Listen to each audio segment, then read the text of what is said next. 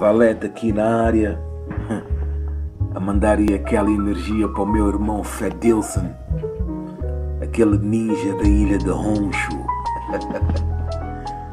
e irmão, tenho observado a tua caminhada, a forma como tens esculpido a tua espada, um só caminho, irmão.